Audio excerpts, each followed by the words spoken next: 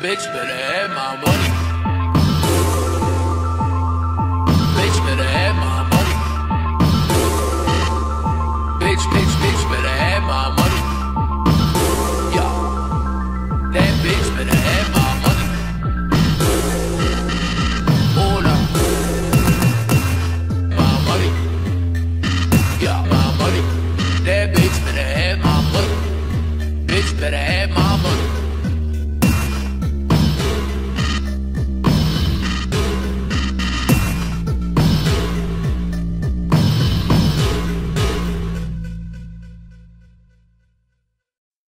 Spirit of Marilyn calling me, audibly, bawling she Said that she would never leave, continue to torture me. Telling me to come with her, underneath my